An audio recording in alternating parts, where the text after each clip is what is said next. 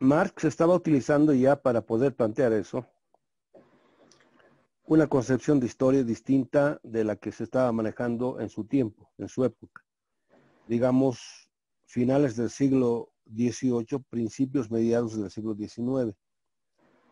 ¿No? Pero eso estaba implícito, en el sentido de que no estaba nada, nada desarrollado, no estaba nada explícito, ¿no?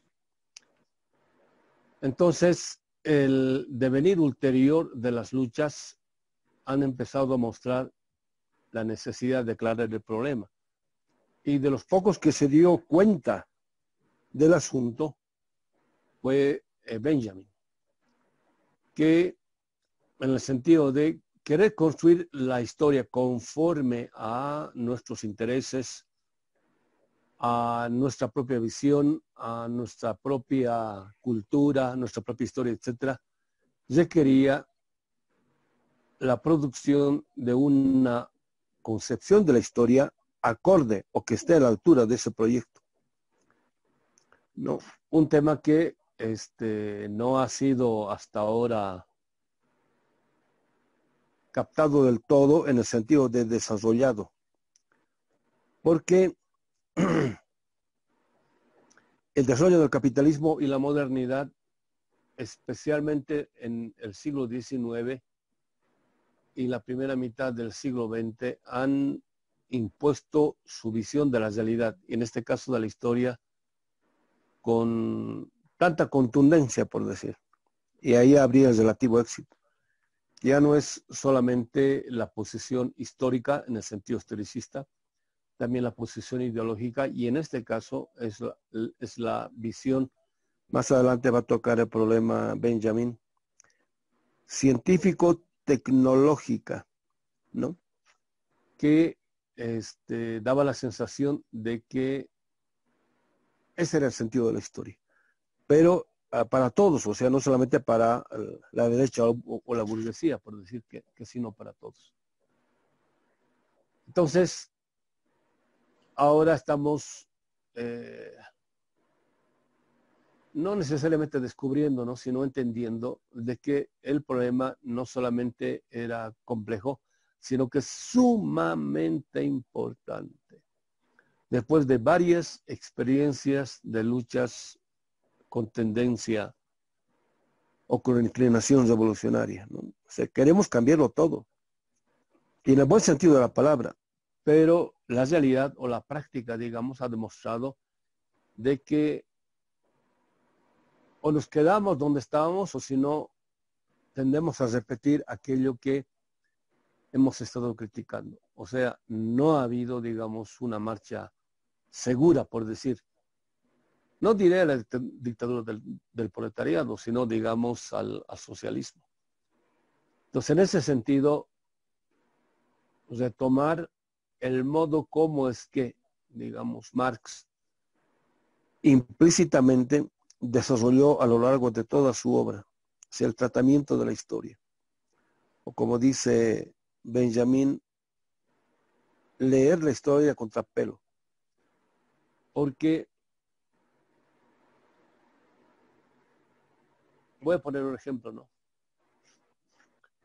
Todas las universidades, digamos el 99%, lo que se enseña es la historia que la modernidad ha producido, no solo de la modernidad, sino de la humanidad.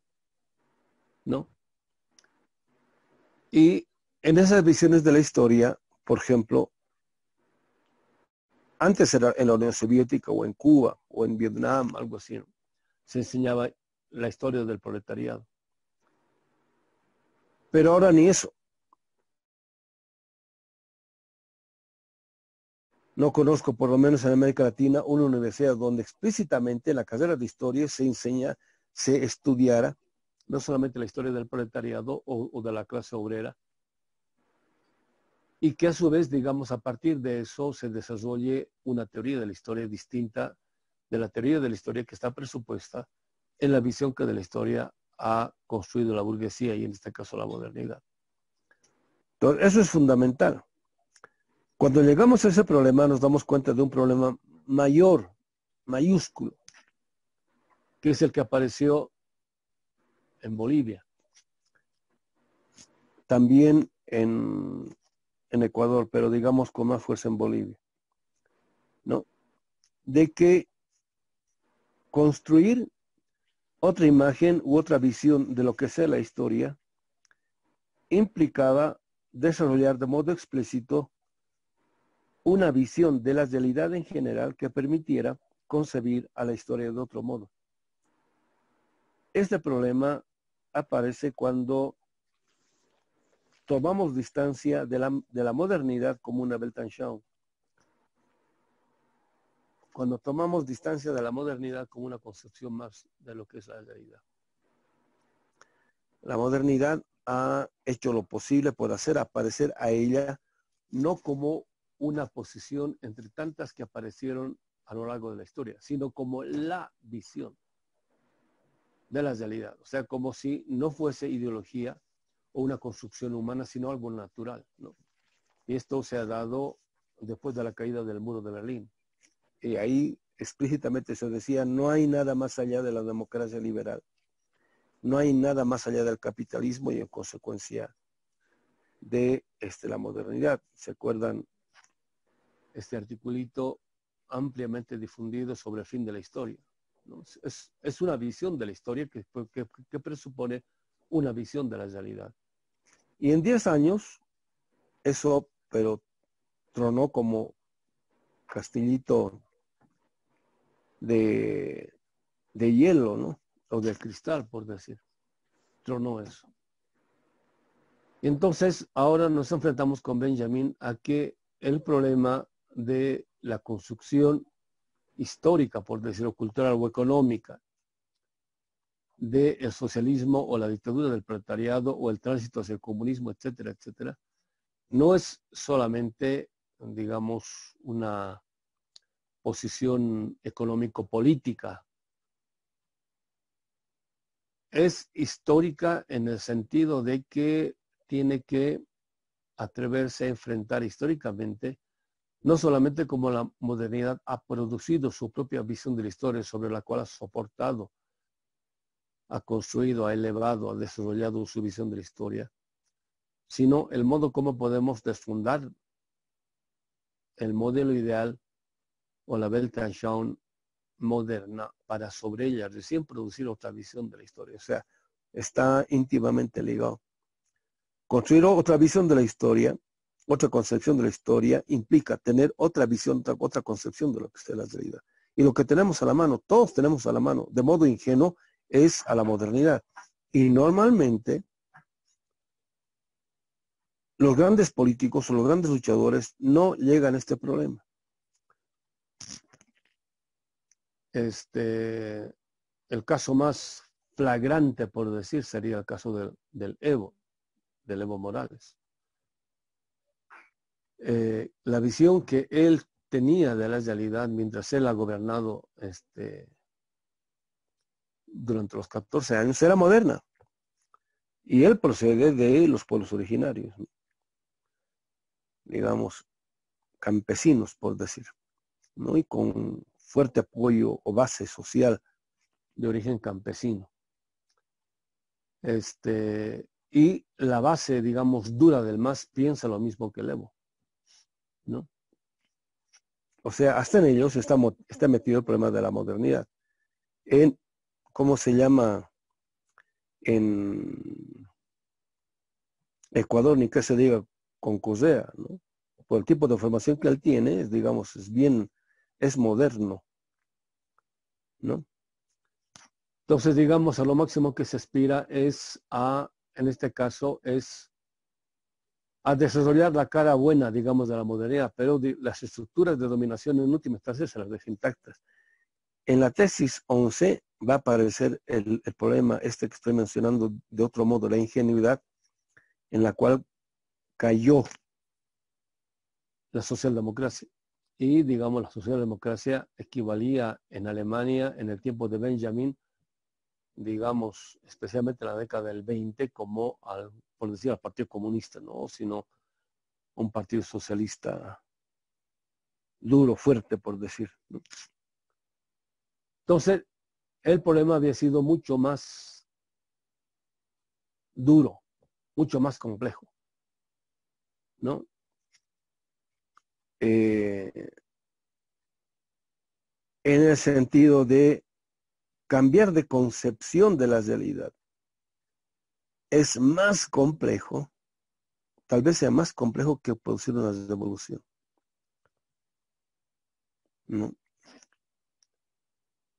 En algunas memorias de los revolucionarios franceses uh, aparecen frases como, como la siguiente, ¿no? Hacer una revolución es fácil. Profundizarla es lo difícil.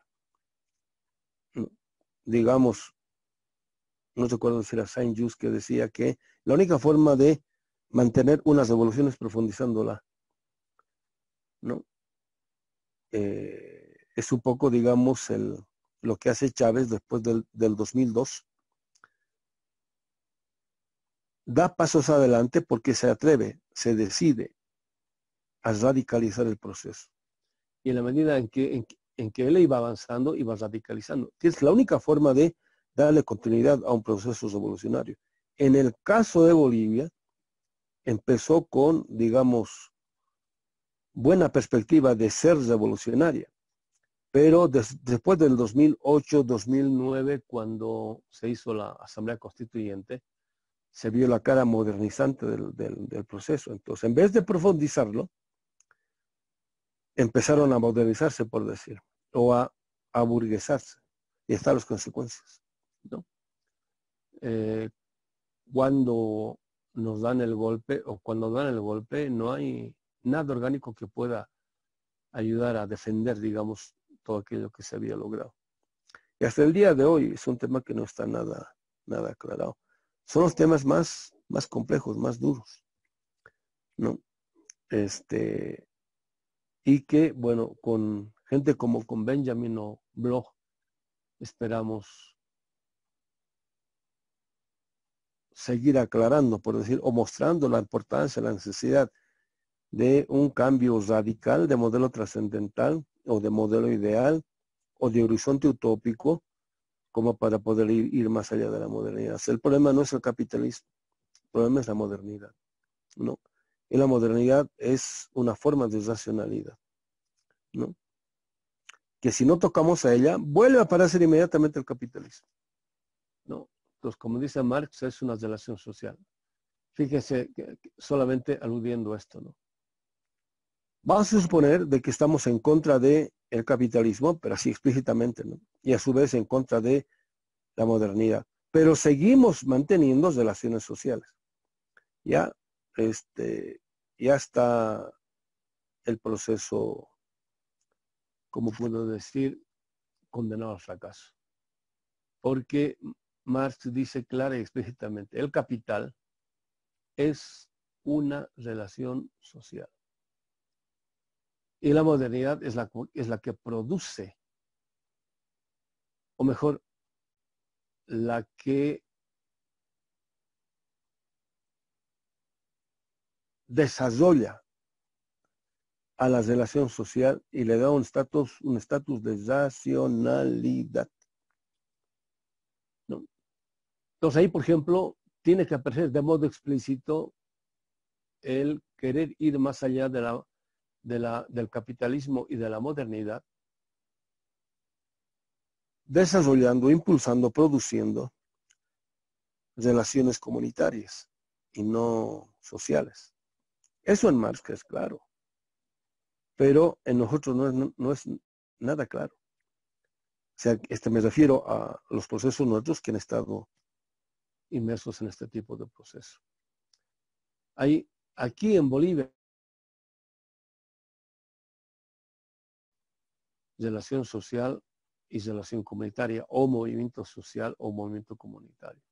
Ni siquiera hay una claridad conceptual, digamos, entre movimiento popular y movimiento social o movimiento comunitario. ¿no? son, son temas que hay que ir ah, trabajando y desarrollando en el futuro. Ahí, por ejemplo, hay que tomar conciencia de el contenido de los conceptos de los cuales hacemos uso cuando queremos hacer inteligible algo en la realidad, ¿no? De ahí la necesidad de la reflexión relativa al lenguaje, digamos, muy presente en, en, en Benjamin. Por ejemplo, la palabra ocio, ¿no? Este, ya está cargada de contenido, ¿no?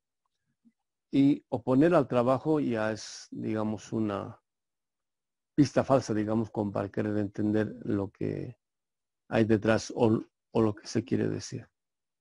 No que quien no trabaja es un ocioso o quien este, no está trabajando está de ocio. ¿no?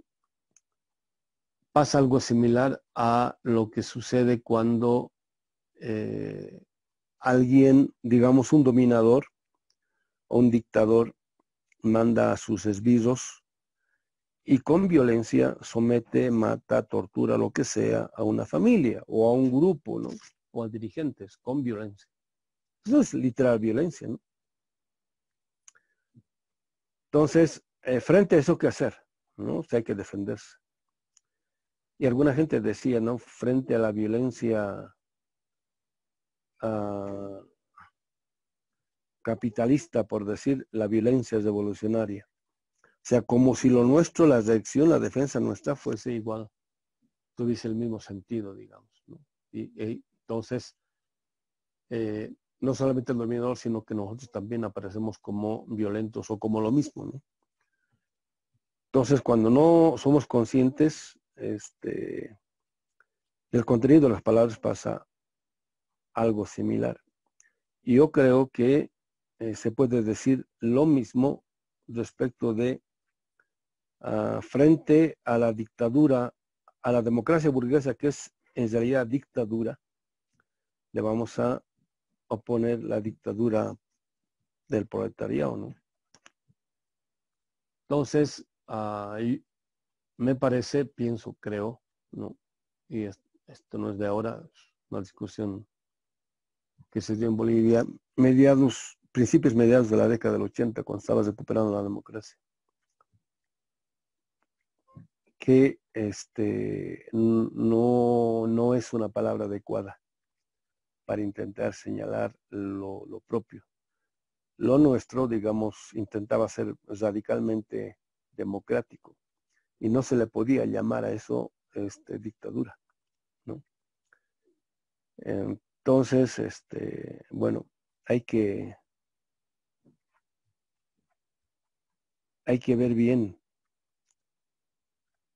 no solamente el contenido, los conceptos, sino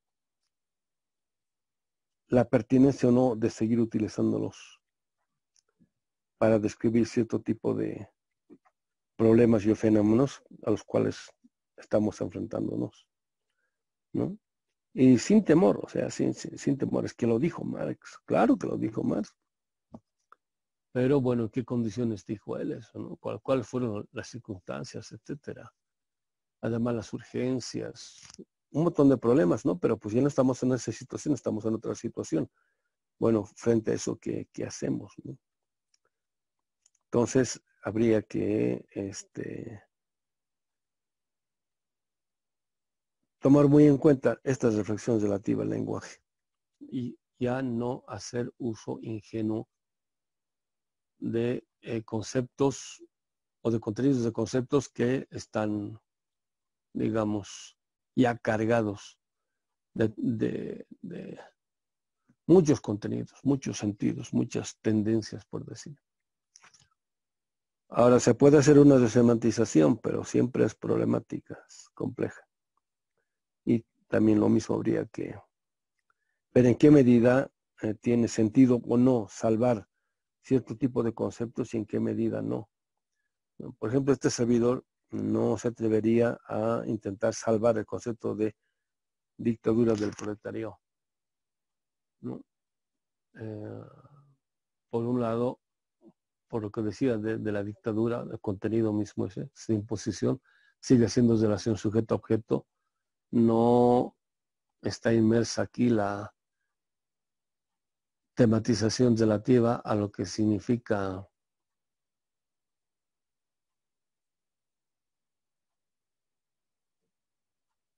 que sectores del pueblo se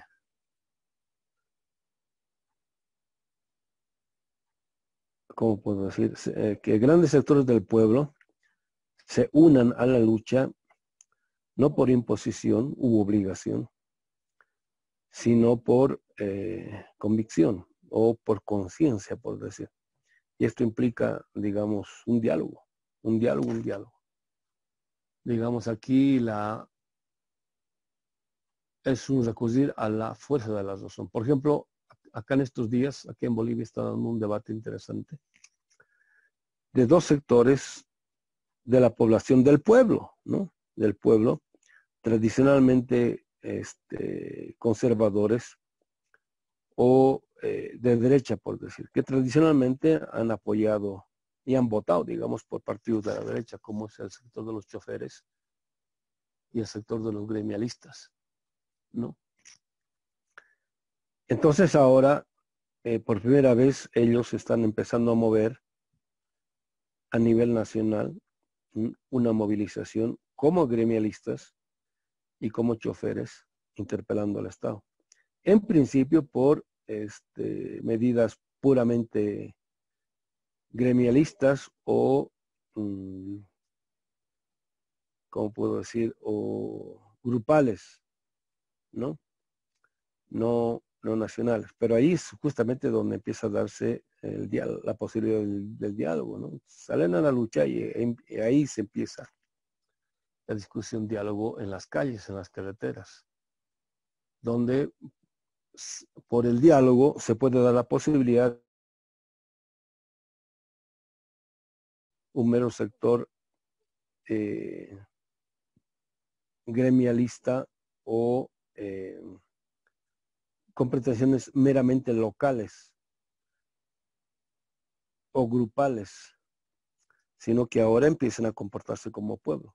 ¿no? Está dando una discusión interesante el pasaje y, o el giro, digamos, de un tipo de conciencia a otro tipo de conciencia.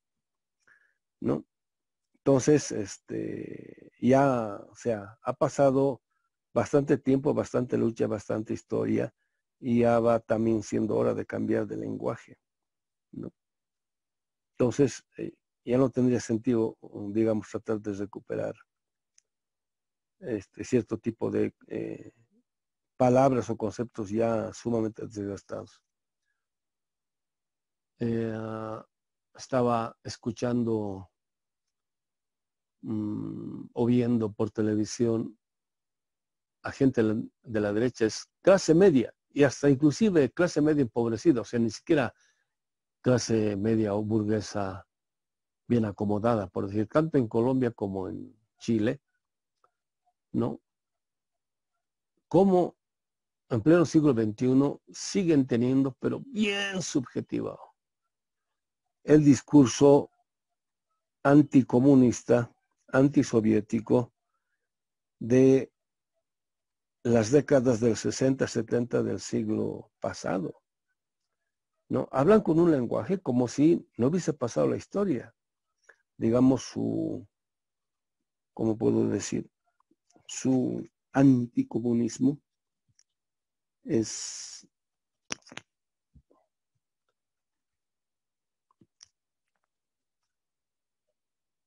es ah, yo no sé si decirle irracional, pero un poco más, ¿no? Que si permitimos de que estos, bueno, nuestros comunistas, ¿no? Sino estos revoltosos, por decir, este, lleguen al poder o si no se logren, logren conquistas sociales o económicas, todo eso vamos a volver a la época en la cual este, los comunistas se, comían a los niños o a los viejitos, ese tipo de cosas, ¿no? Que, todavía sigue previviendo.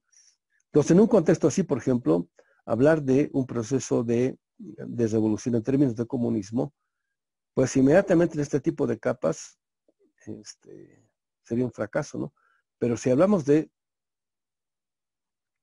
otro tipo, si interpelamos con otro tipo de conceptos, por lo menos los dejamos desarmados porque van a decir, pues, y, bueno, tal vez esto es algo nuevo, ¿no? O qué será o qué no será, etcétera, ¿no? Pero también este, este tipo de reflexión tiene que ponerse a la altura de esos nuevos desafíos. Eso pasó un poco con la, con la revolución, con la idea de revolución democrático-cultural, o sino con el proceso de cambio. Hasta al Papa este, le gustó la palabra, el proceso de cambio. ¿no? Entonces interpela de, otra forma, de otro modo, de otra manera. Y el pueblo, cuando está, digamos, a la altura de ah, la historia, por decir, crea esas palabras adecuadas, hay que estar atento a eso. Y ver, y ver en qué medida podemos servirnos de ello para iluminar de otro modo la realidad. Porque hay conceptos muy célebres, por decir, como puede ser el del comunismo o el del socialismo, que en su debido momento han prestado gran utilidad ideológicamente, políticamente a los pueblos para impulsar sus luchas. Pero estamos hablando ya de otro tipo de coyuntura. Yo no estoy diciendo que hay que olvidarse, digamos, de las ideas contenidas en el comunismo, en el socialismo. Yo estoy diciendo eso. Hay que ver en qué medida eso podemos actualizarlo, renovarlo, refrescarlo. Y en parte es la producción de un nuevo tipo de lenguaje, ¿no? Entonces, continuamos. Según yo, no terminamos la, tesis 10, sino que nos quedamos como más abajo de la mitad. Entonces, voy a empezar después de la nota 10. Dice Benjamin. Tal consideración parte de que la testaruda fe de estos políticos en el progreso. Por ejemplo, eh, la idea de progreso, así como está utilizando Benjamin y está criticando, es, es un contenido que está ampliamente arraigado en uh, fines del siglo XIX y principios del siglo XX. De que la modernidad o capitalismo es sinónimo de progreso. Y no así, digamos, al socialismo. Pero el socialismo dice, sí, es también progreso. Digamos, es el modo como un tipo de contenido, de un concepto puede impactar políticamente amplias capas de la conciencia social. Tal consideración parte de que la testaruda fe de estos políticos en el progreso y en parte este, aparece esta testaruda fe en el progreso en muchos políticos cuando hay, especialmente en países de tercer mundo, una conciencia de que no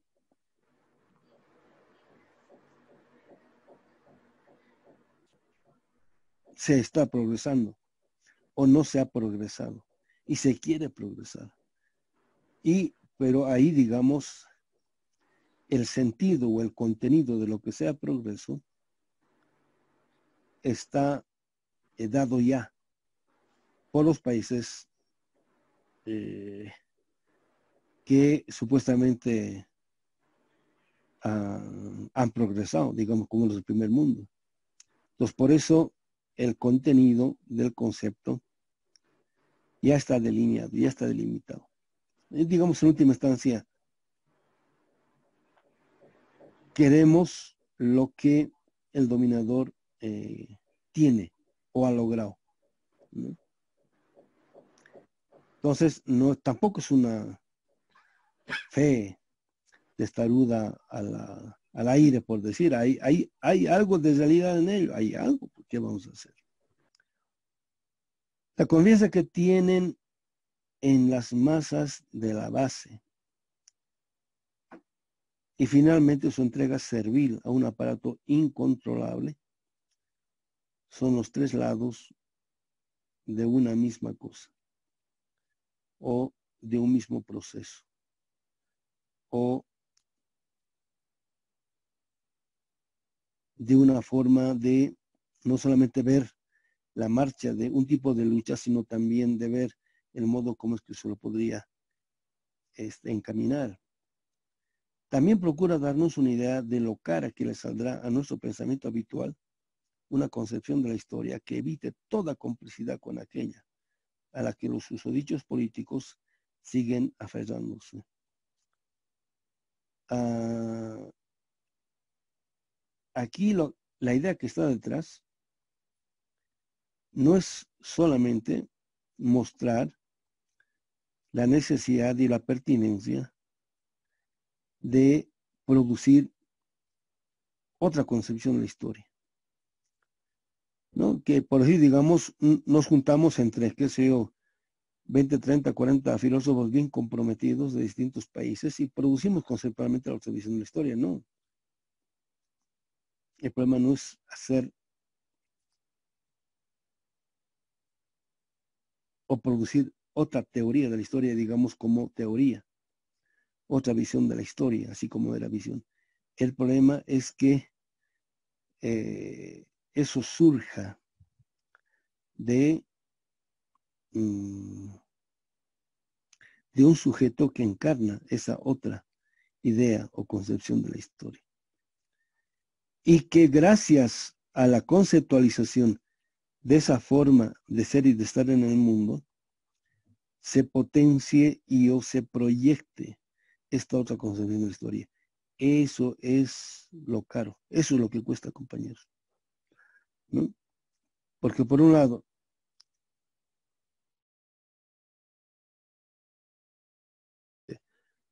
la idea mesiánica que está contenida en la idea de eh, tiempo, ¿no? O historia.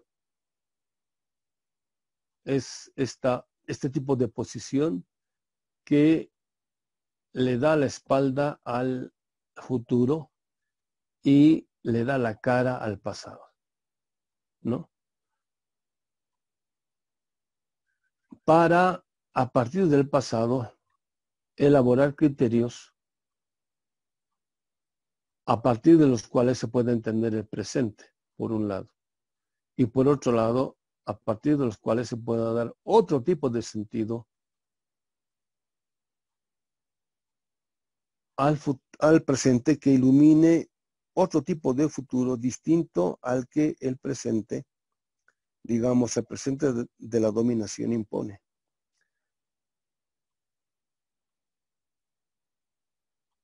Y créanme, o sea, eh, ponerse existencialmente en el punto de vista de los que tienen esta otra visión de la historia.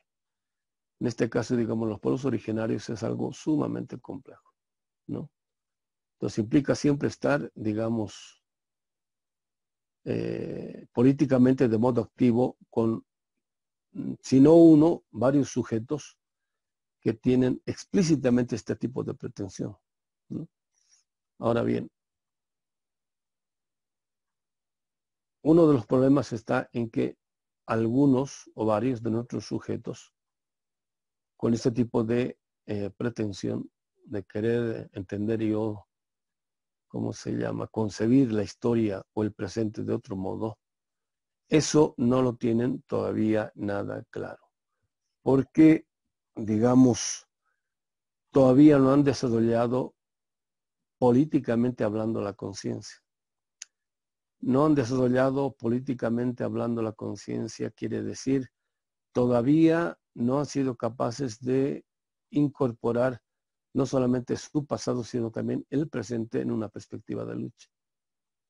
Hay, por ejemplo, pueblos originarios o sujetos, digamos, de algunos pueblos originarios que se siguen viendo a sí mismos, digamos, como eh, víctimas en tanto que víctimas y nada más que víctimas. ¿no?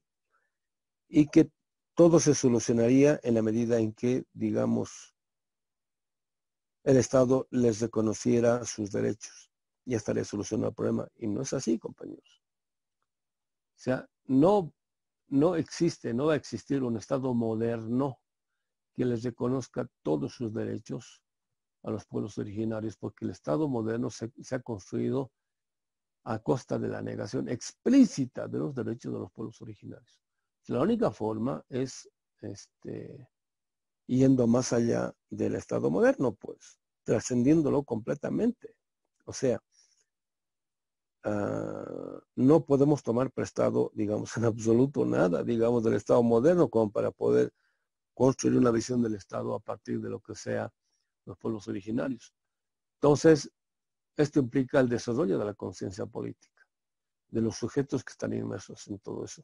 Y no todos están a la altura de esa empresa. Pongo otro ejemplo. El año pasado, creo que fue el mes de septiembre, u octubre, el modo como se movilizó uh, el pueblo en Ecuador fue impresionante. ¿no? pero fue una medida impresionante. Estaba como para bajarlo a, este Lenin Moreno y o si no para este, convocar a una nueva situación política gracias a la cual se diera eh, las condiciones de posibilidad para nuevas elecciones, etcétera. Estaba para eso. Pero al final, bueno, tembló el, el volcán para parir un ratoncito. Y este, ¿cómo se llama? Se desinfló inmediatamente. O fue todo un movimiento grande, pero ¿para qué? ¿Para qué? Eso tiene que ver, no es un mero cálculo político, ¿no? Es, eso tiene que ver con que, bueno, la capacidad que tiene de movilización de un pueblo, eh, con qué tipo de eh, proyecto, ¿no? Eh, con qué tipo de intencionalidad, en, qué, en qué medida se proyecta o no eso, ¿no? En qué medida se hace posible o no a partir de la, de la transformación objetiva de una situación histórica, la transformación de la subjetividad. Y hasta ahorita siguen en problemas. Si lo, si lo quitan de la carrera electoral a, a Correa y su partido, entonces nada raro, compañeros. Entonces, ¿para qué ha servido toda esa movilización? Que tenía una gran potencia. Hace como dos o tres semanas, dos semanas, ¿no? Aquí pasó algo similar. Salió el pueblo como nunca antes, pero así, con una potencia impresionante. Nunca he visto a los pueblos originarios con una movilización tal y además bien orgánica a nivel nacional. El gobierno estaba a punto de caer, eso era literal. Entre los ministros de la Áñez estaban peleando y apuntándose hasta con pistola. Frente a ello, la, la estaba llorando, ¿no? Se estaba a punto de caerse y de pronto, tanto el Parlamento como la COP deciden dar marcha atrás en, las denuncias de la, de la presidenta y, aceptaron una ley este, que garantice cómo se llaman las nuevas elecciones. ¿no? Entonces aquí se ve, digamos, eh, qué tipo de concepción de la política o de subjetividad tiene la dirigencia, en este caso de, la COP, por un lado, de las bases del MAS, por otro lado, y también de el Parlamento, que es, digamos, afín al MAS. Pero los tres grupos dirigenciales que definieron esta lucha fueron ampliamente rebasados por el pueblo. Pero ampliamente, pero de modo impresionante. O sea, se notaba, era el pueblo, el pueblo, el pueblo. Entonces, bueno, en parte una ingenuidad por creer de que este, van a haber elecciones limpias con un gobierno golpista, ¿no? Ser ingenuo, digamos, como para, como para poder creer eso. Entonces digamos acá que debería ser clarísima esta la idea de que el criterio de el, eh, lo que se puede o no hacer en el presente, en la perspectiva del futuro, tiene que estar dado por el pasado, en este caso el Pachacuti. ¿No? Este, es algo que cuesta mucho. O sea, no es solamente elaborar el concepto. El problema es que, las, que el pueblo que impulsa ese tipo de, de política encarne eso. Ese es el verdadero problema. ¿No? Y pues yo creo que hasta que pase eso, que pasarán otros 10, 20 años, ¿no? Si es que estamos, digamos, al pie del cañón, a pie juntillas, acompañando el proceso, ¿no? De lo contrario, estará difícil. Por eso que la política muestra cuán compleja es. o cuán complejo es el intento de querer transformar nuestra realidad a la altura de nuestras expectativas.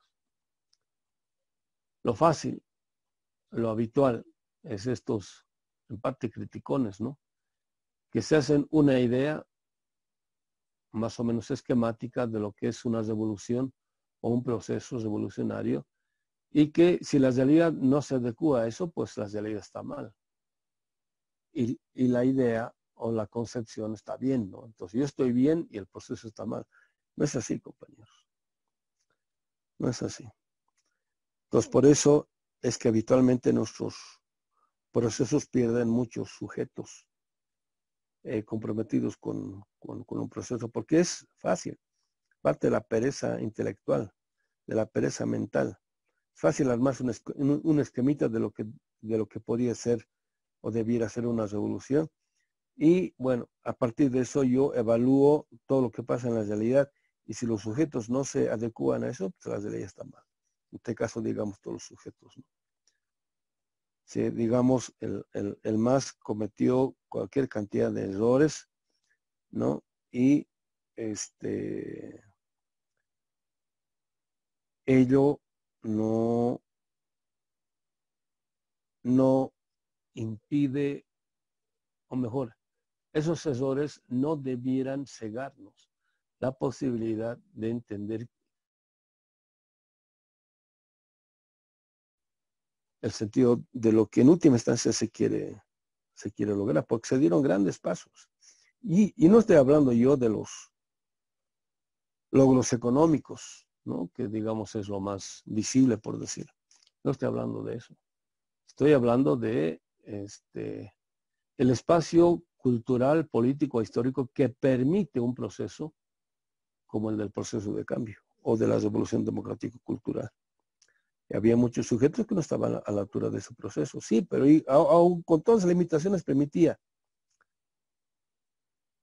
producir un espacio en el cual apareció y ahora se está, se está viendo ese, sujeto que em, empezó a tomar conciencia de sí mismo, este, gracias a que había este tipo de apertura, recién se está dando cuenta lo que ha perdido o lo que se puede seguir perdiendo si es que no eh, se sigue luchando. Entonces, otra vez, cuando dije también procura darnos una idea de lo cara que le saldrá a nuestro pensamiento habitual, una concepción de la historia que evite toda complicidad con aquella a la que los usodichos políticos siguen aferrándose. En última instancia, se, se, podría decir de que todos en mayor o menor grado somos cómplices con la modernidad. Estamos en parte atrapados al interior de ella. Nos movemos dentro de ese horizonte, digamos, cultural, económico e, e histórico. ¿no? Ahora estamos intentando salir, pues, y, y, este, en vez de decir por aquí es que la salida, primero tenemos que tomar conciencia de la complejidad de ello, ¿no? Para no recaer en el camino en lo que habitual y cotidianamente criticamos. Es bien fácil ser criticón, compañeros. Y al final, los criticones terminan siempre del lado de la derecha. O sea, terminan del otro lado. Eso, eso, eso, eso es lo peor. Y ni siquiera porque les hayan pagado por decir, sino que de modo voluntario. Que es lo peor. O sea, de gratis, pues. De gratis se dan vuelta a la derecha, ¿no? Así. Bueno, fin de la tesis 10. Cuando yo incido mucho en la posición existencial, o sea, el modo como existencialmente uno se involucra en un proceso como este. Estoy haciendo alusión a lo que en mis tiempitos, o fines de la década del 70, 80, este, se decía teoría y praxis, ¿no? Por un lado estamos reflexionando. Aquí es, es importante la praxis, pero pues la praxis o la práctica, por decir, este, fue un concepto tan usado, abusado, eh, manoseado, ¿no? Que, que, todo el mundo hacía la práctica, la práctica, ¿no? Teoría, praxis, la praxis, pero pues era, por decir, digamos, una praxis pertinente al sistema de dominio. Entonces, por eso hice con segundas intenciones el, tránsito a una posición existencial.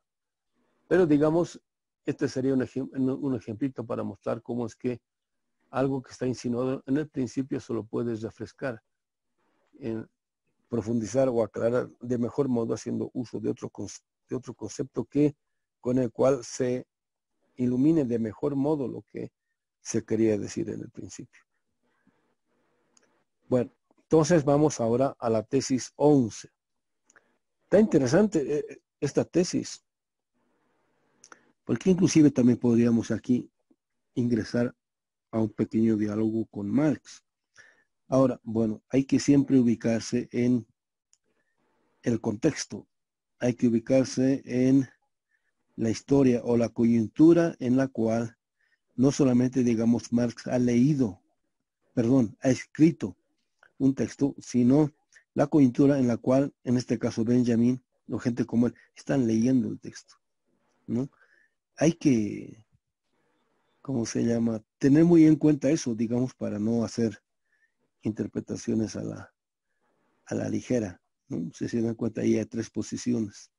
La reflexión epistemológica inmediatamente mm, toma conciencia de ello. Por un lado, el contexto en el cual Marx está haciendo sus reflexiones relativas al trabajo.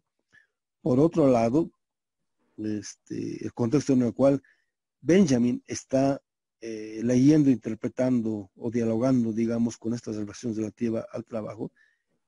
Y el contexto en el cual nosotros estamos, ¿cómo se llama?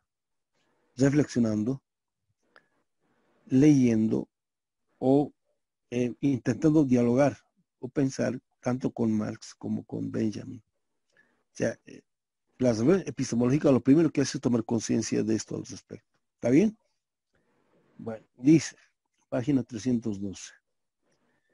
El conformismo, que sería otra forma de la, esta posición testaruda de, este, de, los políticos en el, en, el, progreso, especialmente de aquellos que creen que han logrado algo, ¿no? Digamos, un mejor trabajo, una mejor posición este, social, etcétera, ¿no?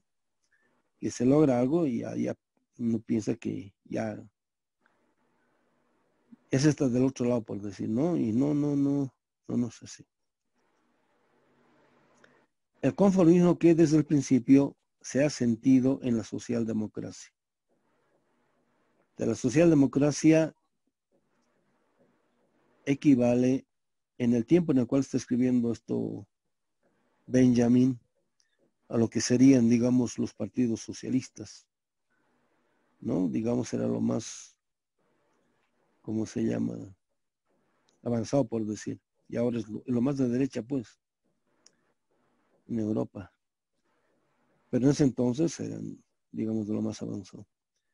El conformismo que desde el principio se ha sentido en la socialdemocracia como en casa, no se apega solo a su táctica política, sino también a sus concepciones económicas. O sea, hay una relacionalidad.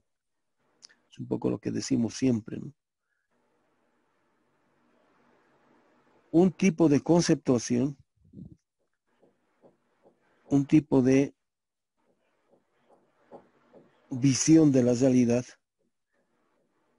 ilumina o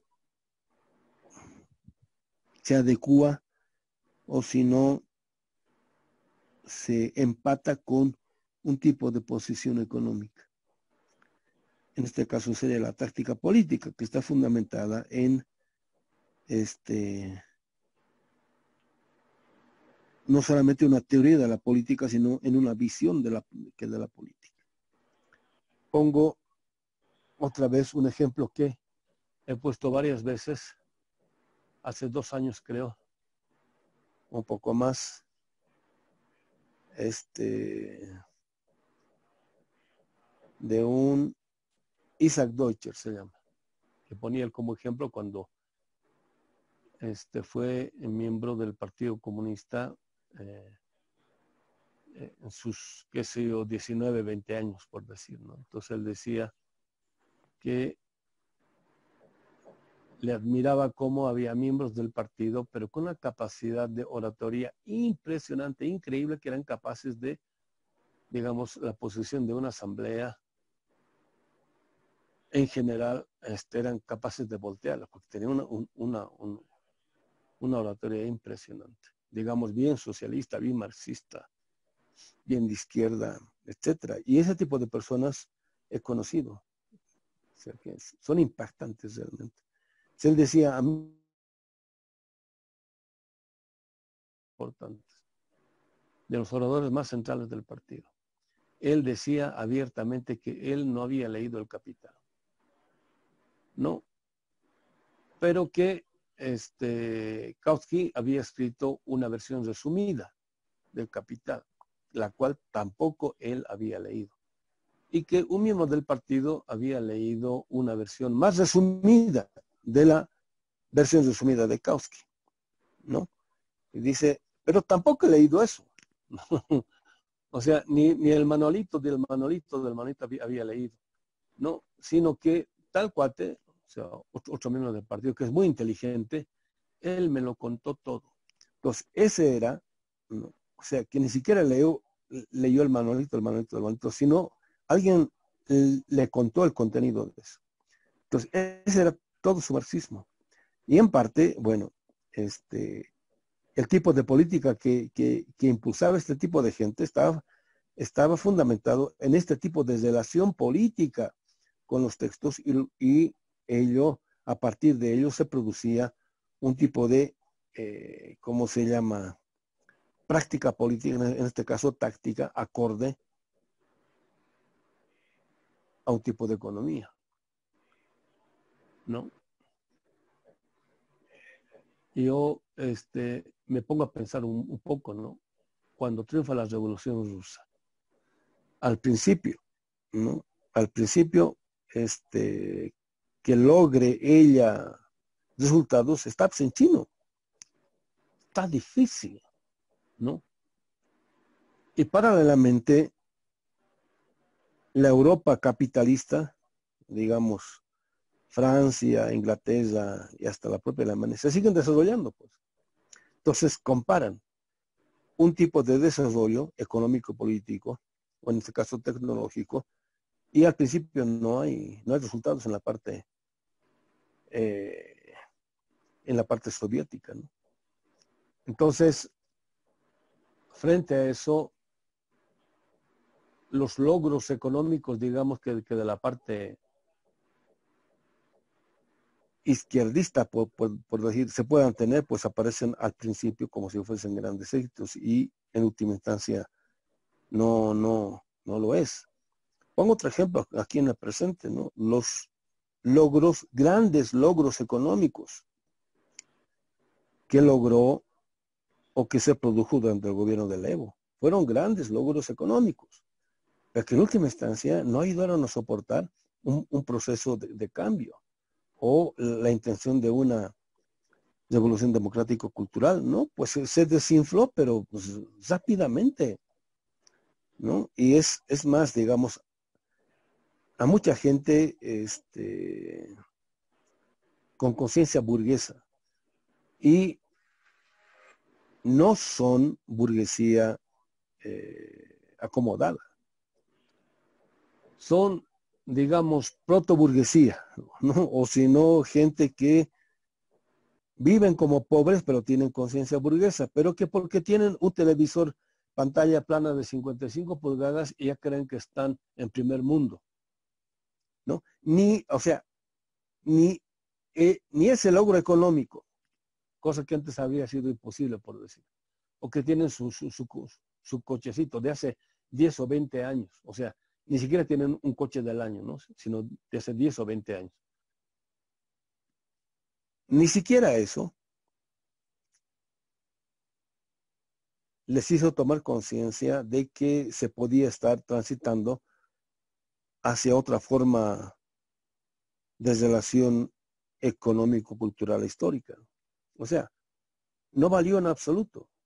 O sea, digamos, a especialmente la clase media empobrecida acá en, en Bolivia, los logros e, económicos que se logró durante el gobierno de Evo y casi a nivel general, no les importaron.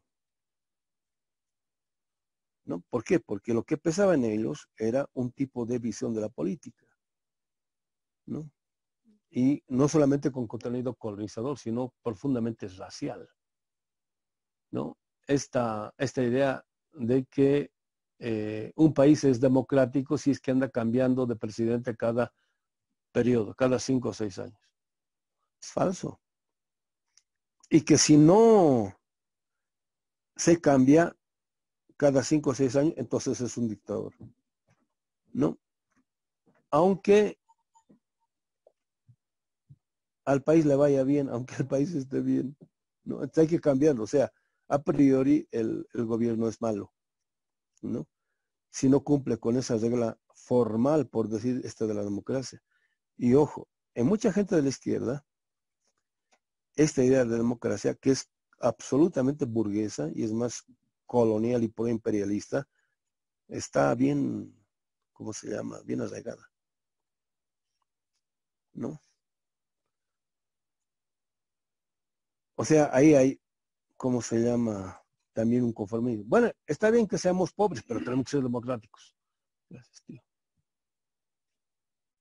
No sé si se entiende la, esta, la estupidez. O sea, mucha gente, siendo pobre, prefiere seguir siendo pobre o tener un país atrasado, dependiente, pero ser democrático. No sé si se entiende la, esta ironía que, que, estoy diciendo. Él es el conformismo, una de las causas del derrumbamiento ulterior. O sea, hay mucha gente que se conformó con lo poco que se logró, se conformó pues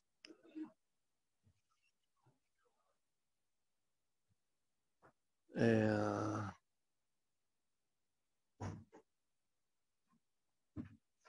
¿Cómo puedo decir? A ver.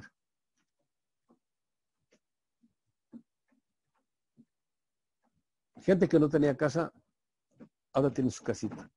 Se conformó con eso. Y no es una, una casona, ¿no? Gente que no tenía un, televisor de 55 pulgadas y que ahora tiene, ¿no? Se conformó con eso.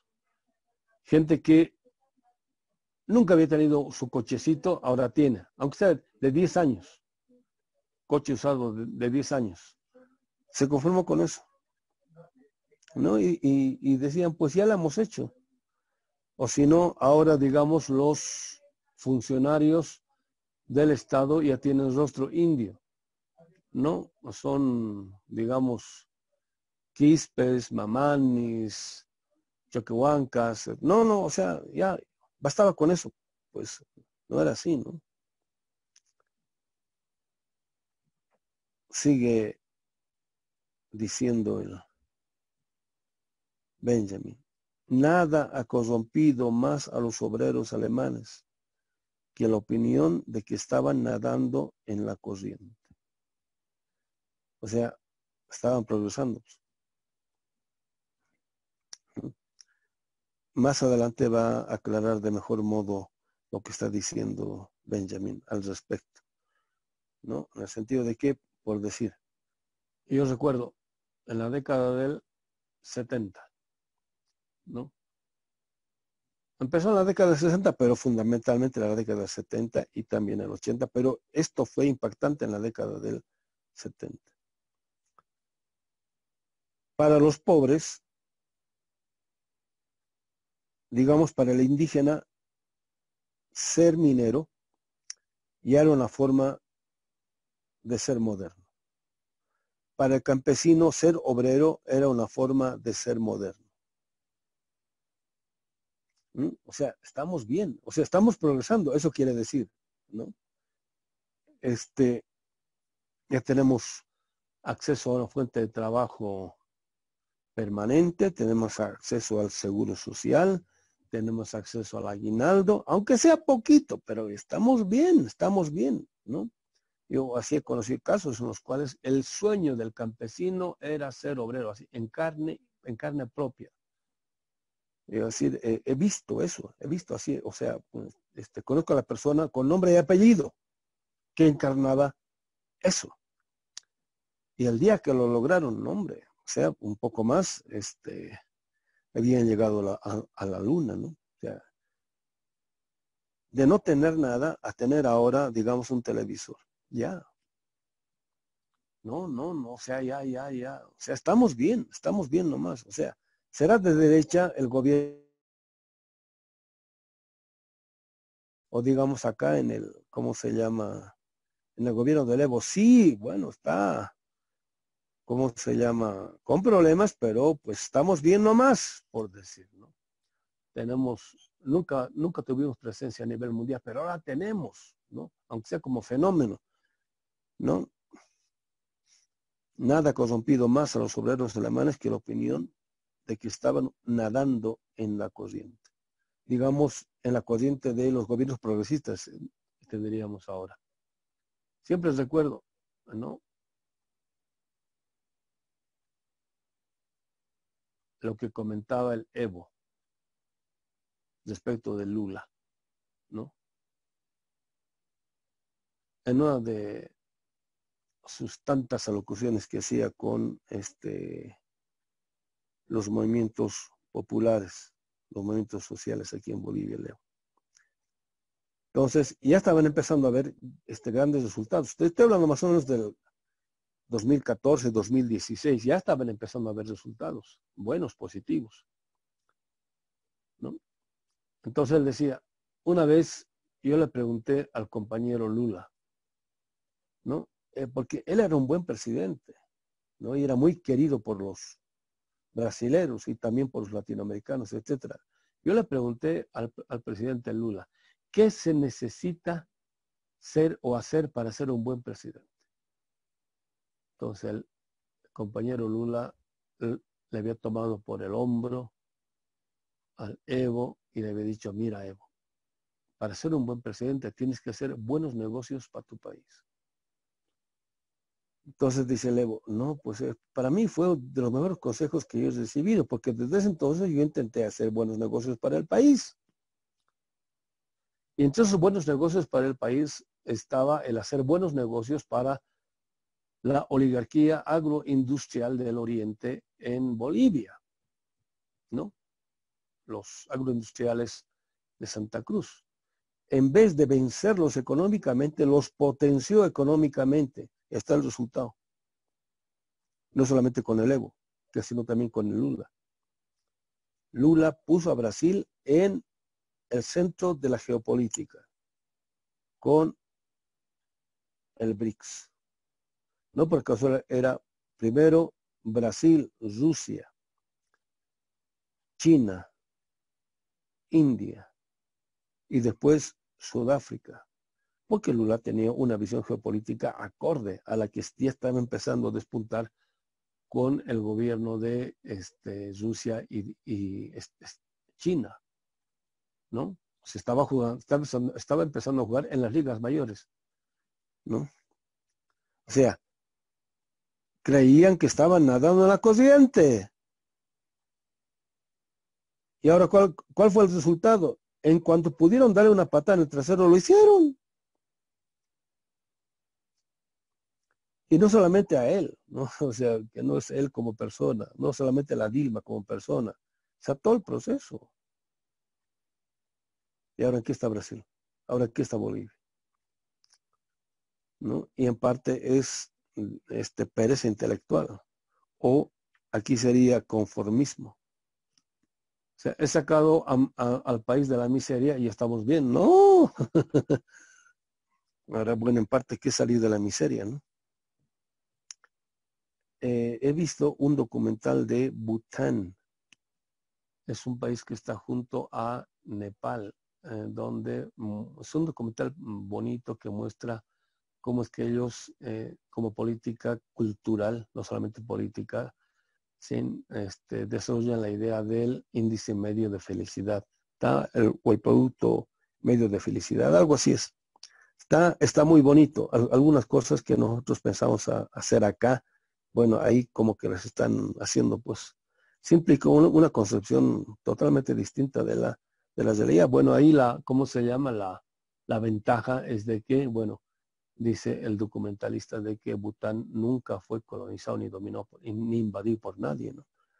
cambio nosotros no, pues la colonización, compañeros, pesa, ¿no? El desarrollo técnico era para ellos la pendiente de esa corriente en favor de la cual pensaron que, nadaban, ¿no? Otra vez el progreso, ¿no? O esto que Marx critica, ¿no? Cuando el capitalista dice, sin capital somos nada. El moderno dice, sin desarrollo técnico, sin, sin, sin ciencia y tecnología somos nada. Y ahora dice Benjamin, el desarrollo técnico era para ellos la pendiente de esa corriente en favor de la cual pensaron que nadaban.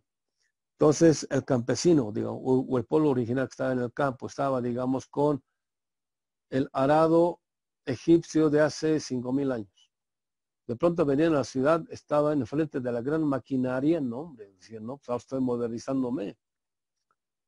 ¿No?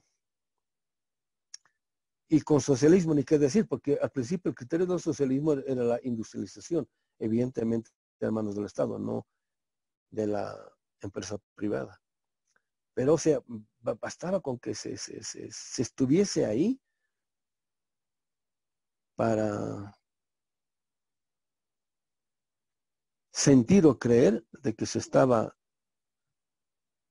en las rieles del progreso o del desarrollo técnico.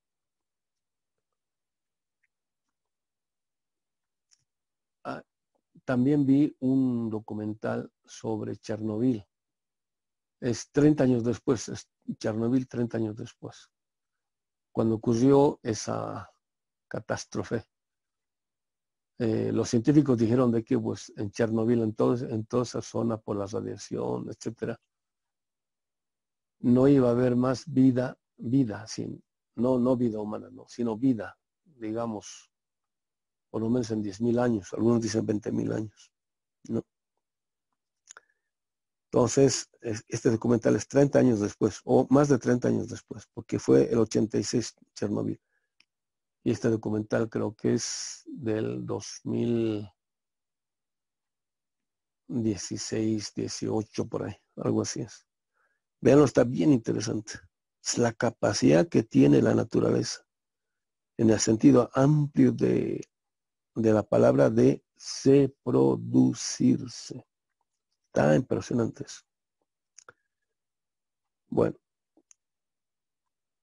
Punto este punto este desde el que no había más que un paso hasta la ilusión de que el trabajo en la fábrica, montado en el tren del progreso técnico, representaba ya un logro político. ¿No?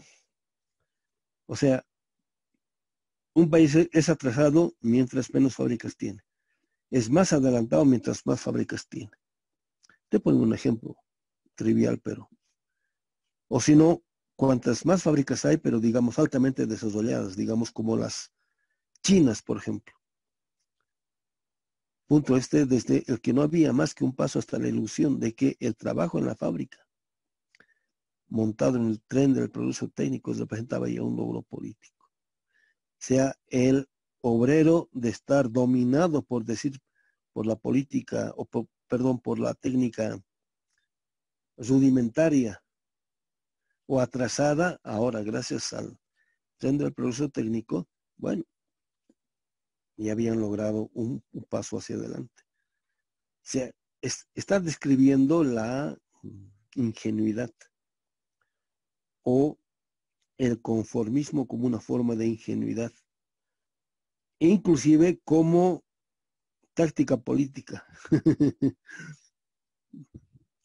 Tiene una capacidad de, ¿cómo se llama?, de análisis aquí de Benjamin, impresionante. Y ahora vuelve al, tema que nos ocupa desde ese año, desde ese, bueno, sí, son algunos años ya, La antigua moral protestante del trabajo celebra su resurrección secularizada entre los obreros alemanes. Y digamos, la, la culminación de esta resurrección secularizada de la moral protestante del trabajo, pietista, luterana, etcétera, etcétera, es Estados Unidos. Este,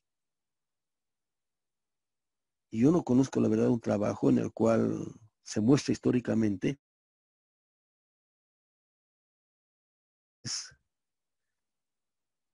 vuelven o modernizan, bueno, el sentido amplio de la palabra, ¿no? Este, este tipo de evangelio. Pero aquí, aquí sería lo aburguesan a la moral del trabajo medieval, ¿no? Lo, lo aburguesan de tal modo de que el protestantismo o la concepción protestante del trabajo se convierte en el fundamento ideológico y hasta ontológico del trabajo capitalista.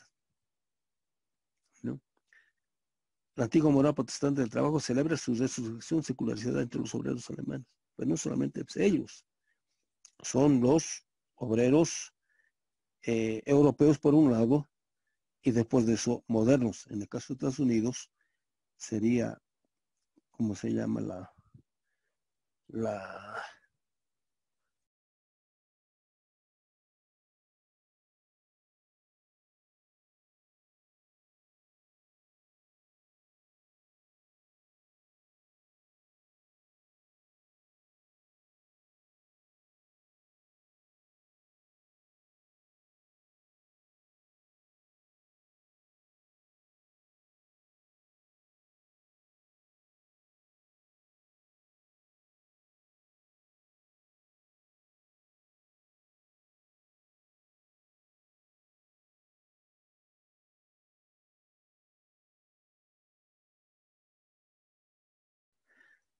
Ah, no sé si han visto, hay una película sobre...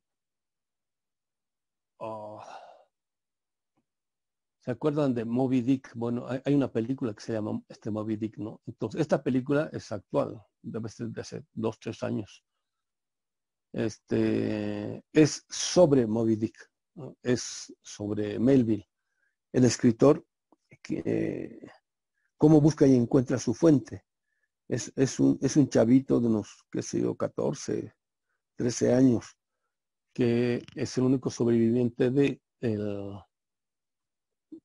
¿cómo se llama? De, este barco ballenero. ¿No? Entonces, al principio, especialmente al principio, es la película, yo no sé si con intención o sin intención, muestran eh, cómo es que protestantemente, o sea, relativa al protestantismo, sostienen la moral y la ética burguesa, en este caso de los empresarios balleneros. A ver si pueden verlo. Son unos cuantos ahí diálogos al principio, pero es, pero, pero es tan revelador. Hay la oración del, del, cura ahí, bueno, no es el cura, es el pastor protestante cuando está despidiendo a los, a los balleneros, empieza eh, esta oración ahí con, con, varios feligreses, ¿no? Haciendo alusión a la Biblia, que bueno, podría parecer normal, ¿no? Pero de, ahí hace el pasaje, pero normal y natural a cómo es que el tipo de empresa que están emprendiendo, en este caso los balleneros, como capital, ¿no? Es algo bendito, ¿no? Es algo bueno, es algo este, humano, es algo civilizatorio que está siendo bendecido por Dios y están orando por todos. Impresionante. ¿No? Este, en parte, o sea, tiene que haber todo este tipo de moda, todo este tipo de transformación, cambio conceptual, este, de lo que se entiende por trabajo para que se entienda un fenómeno como el de Estados Unidos. Y aquí lo que está narrando es el caso de, este, de los obreros alemanes, este culto del trabajo que es una forma de religión, ¿no? Y esto no quiere decir de que los nuestros no trabajen, trabajan, pero es el contenido de eso es otro, ¿no? O sea, no, no es el mismo. Si hablamos de trabajo, sí, pero no estamos hablando de lo mismo.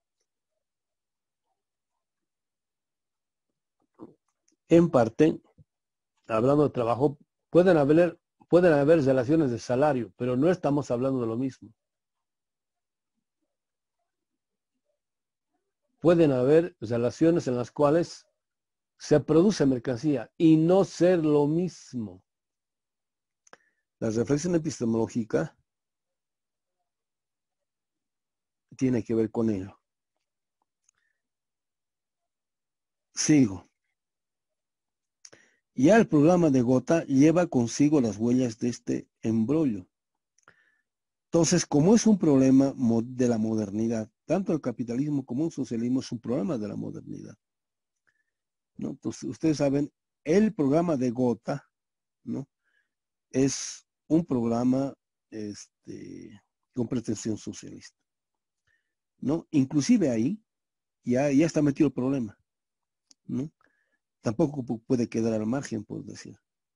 Tampoco puede caer del cielo. Define el trabajo como la fuente de toda riqueza y de toda cultura. Eh, ahí está bien en abstracto o bien en general o en este caso digamos bien ambiguo. Marx dice que para que haya riqueza tiene que haber trabajo y naturaleza. En el programa de Gotha, dice aquí el Benjamin, define el trabajo como la fuente de toda riqueza y de toda cultura. Sin el trabajo no hay nada. Imagínense que haya cualquier cantidad de, trabajadores y no hay naturaleza. ¿No? Va juntando algo malo.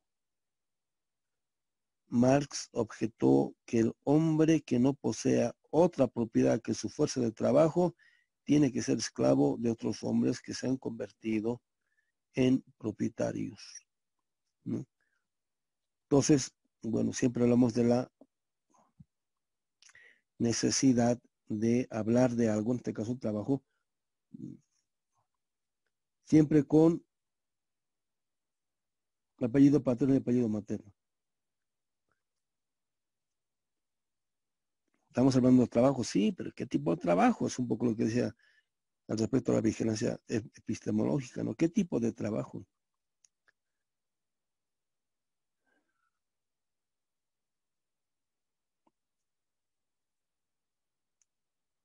En el capitalismo, y no, no necesaria la, fábrica, ¿no?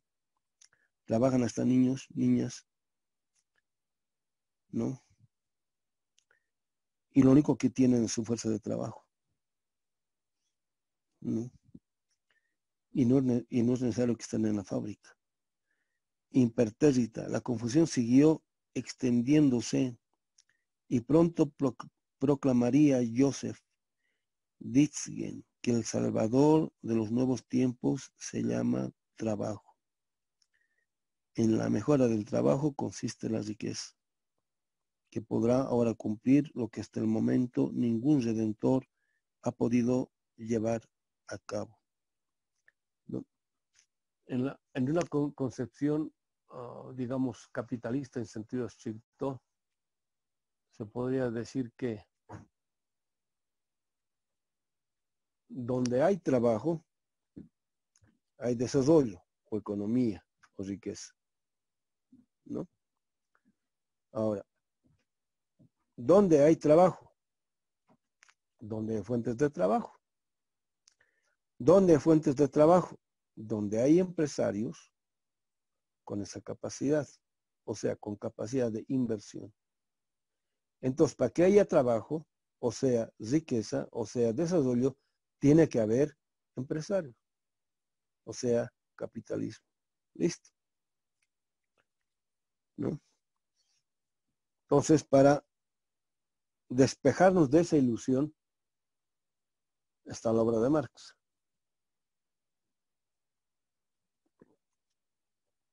siempre decimos, ¿no?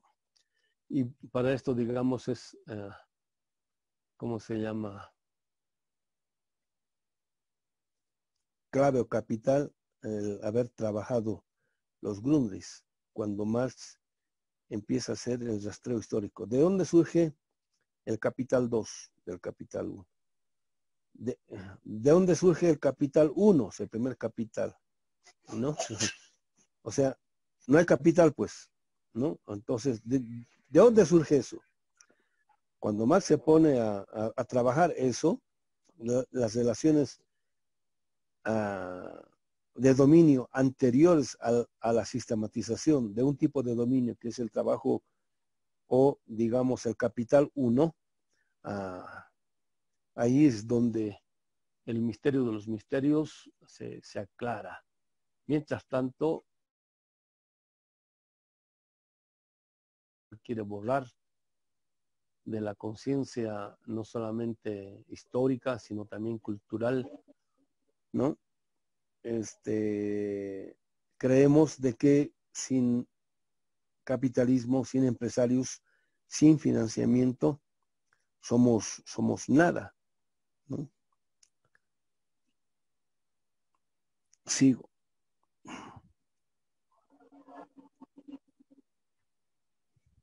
Este concepto marxista vulgarizado de lo que es el trabajo.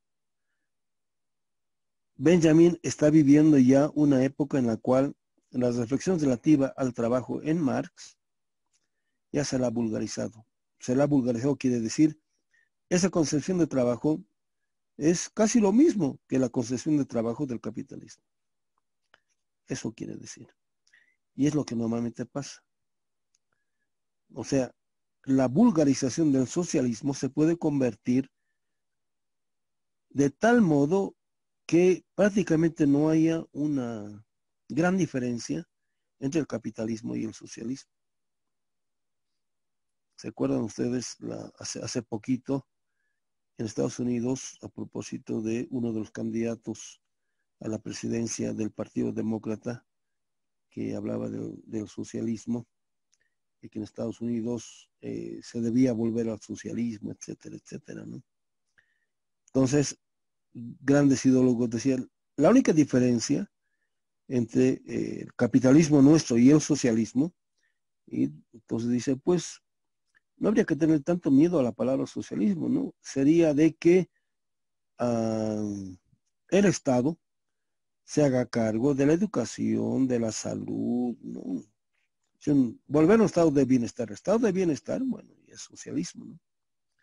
Entonces ahí, digamos, muchos conceptos nuestros se puede vulgarizar y tiene que ver en parte con el conformismo, o si no tiene que ver con la pereza intelectual de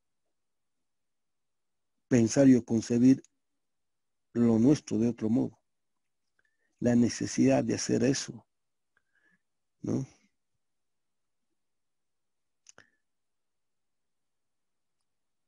Este concepto marxista vulgarizado de lo que es el trabajo no se demora en la cuestión del efecto que su propio producto llegue a tener sobre los trabajadores en tanto no puedan disponer de él. Es, digamos, el problema en, última instancia.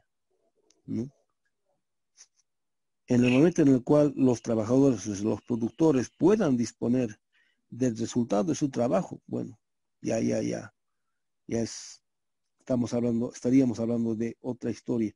Mientras eso no sea posible, bueno, pero ahora, ¿qué quiere decir? Que nosotros o los trabajadores puedan disponer eh, del resultado del trabajo de los trabajadores. Em, fácil sería decir que ellos sean los que disfrutan de la riqueza que producen.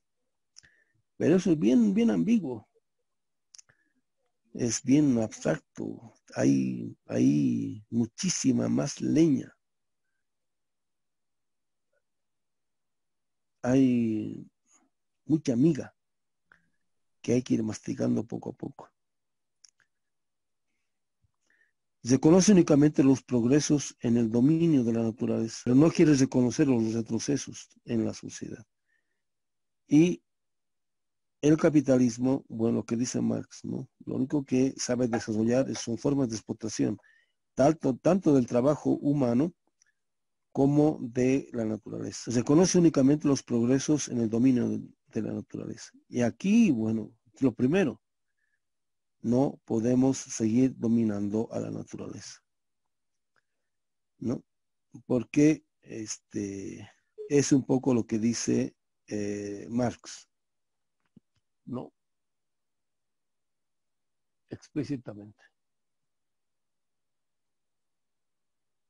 Lo que sea el ser humano es una deducción o una consecuencia de lo que, del modo como el ser humano se relaciona y concibe a la naturaleza. Si la concibe como objeto de dominio, el ser humano deviene con ese tipo de subjetividad. Lo que sea el ser humano, lo que sea la subjetividad humana, lo que sea la concepción de lo que es humano, es en parte una deducción del modo como es que el ser humano se vincula, se, se relaciona con la naturaleza. ¿No? De ahí Marx no toma inmediatamente una consecuencia, ¿no? Nosotros sí, y lo decimos en nuestro, en, nuestro libro, ¿qué significa pensar? Desde América Latina. Cuando el ser humano concibe a la naturaleza como objeto, él deviene objeto. Cuando la concibe como sujeto, él deviene sujeto. Y de ahí nosotros deducimos la idea de que no es cierto que el ser humano humaniza a la naturaleza. Eso es falso. ¿no? no he vuelto a trabajar los manuscritos del 44. Pero si lo dice Marx, eso yo no puedo eh, suscribir. ¿no? Ah, desde la concepción que los pueblos originarios producen y deducen, es que la naturaleza, ella es sujeto por antonomasia, con una dignidad superior inclusive a la, a la del ser humano. Si esto es así, la única forma que tiene el ser humano de humanizarse es reconociéndole explícitamente la subjetividad a la naturaleza. O sea, en esa relación, sujeto-sujeto, es como el ser humano se humaniza. No es que humanizamos a la naturaleza. Y no estoy diciendo la naturaleza es la que nos humaniza. No, lo que estoy diciendo es que en este tipo de relación entre sujetos es donde el ser humano se humaniza. Entonces, decir de que el ser humano es quien humaniza a la naturaleza, esa es una afirmación bien moderna, burguesa. Y bueno, el, ¿cómo se llama? Todos los manuales del siglo pasado sostenían eso sin excepción. Lo clarísimo porque yo también, como Cotosa, eh, decía algo similar. Bueno, y a, propósito de esto último que estamos leyendo de Benjamin, cuando dice, se conoce este concepto marxista vulgarizado. Reconoce únicamente los progresos en el dominio de la naturaleza, pero no quiere reconocer los retrocesos en la sociedad. Y esto porque una concepción o un tipo de relación encaminada únicamente al dominio de la naturaleza, lo único que produce son retrocesos en la sociedad. ¿Listo? Entonces, este concepto marxista vulgarizado ostenta ya los rasgos tecnocráticos de caída en, digamos, los lados o las zonas más oscuras de ah, la modernidad. Capitalismo, fascismo, socialismo, son caras distintas de un mismo fenómeno, en última instancia, como, como en este caso de la modernidad. A estos pertenece un concepto de la naturaleza que se diferencia catastróficamente del de las utopías socialistas anteriores a las revoluciones de 1848. Bueno, ahí todavía había algo de romanticismo o de la posición romántica, esta, esta romántica, esta posición romántica de izquierda, ¿no? Este, la cual se va secularizando poco a poco, pues, a tal grado que al final ella aparece, en este caso naturaleza, como mera, ¿cómo se llama? Como mero objeto, ¿no? Pero que en parte tiene que ver con las utopías socialistas. En este caso, fíjense, una concepción de, naturaleza está presupuesta como supuesto en concepciones socialistas utópicas. En lo que sigue, más o menos toca el tema.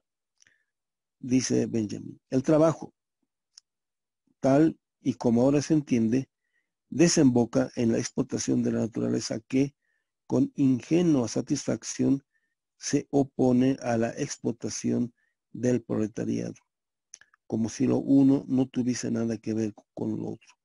Se, ¿Cómo se llama? Se corresponden, pues. La explotación de la naturaleza es posible solamente por la explotación del proletariado. Y al revés. Entonces, ahora podemos decirlo con vehemencia de modo contundente. Creer que el socialismo es una fase superior, en el sentido de humana, del capitalismo respecto al capitalismo, en la cual se propone no explotar al trabajo humano, pero seguir explotando a la naturaleza, es una ingenuidad. Para el socialismo hasta el día de hoy la naturaleza sigue apareciendo como objeto. Apareciendo como objeto, sigue apareciendo como objeto de explotación. Basta con que se lo conciba como objeto ya. La explotación se deduce. O en algún momento va a llegar. No. En este, en este caso es el índice para saber en qué medida todavía sigue siendo moderno. Entonces, por eso es que el problema de la revolución en sentido radical es más allá que el socialismo del siglo XX. Siendo más allá que el socialismo del siglo XX es más allá de la modernidad, porque la modernidad es el presupuesto cultural e ideológico sobre el cual se ha producido el socialismo, la idea del socialismo en el siglo XIX. Digamos, estaba campante la idea aparece como problema en, el último Marx. Pero este, el máximo del siglo XX no lo tematiza, porque no le aparece como relevante por su conciencia, por su conciencia moderna, pues, ¿no? No sé cómo estará en Venezuela ahorita en este momento, pero hasta el 2010 más o menos o el 2011, exagerando el 2011. Este, en, en varios de, los funcionarios eh, que estaban chavistas, ¿no? Estaban apoyando el proceso, yo lo he visto personalmente, la concepción de la naturaleza como objeto estaba intacta. Ahora, después de la muerte del compañero hermano Chávez eh, ha empezado a abrirse campo la conciencia comunal. Entonces, ahora cómo estará, no sé. Pero este, hasta el 2010, 2011, la concepción de la naturaleza como objeto, o sea, la idea de un socialismo con conciencia moderna, estaba intacta.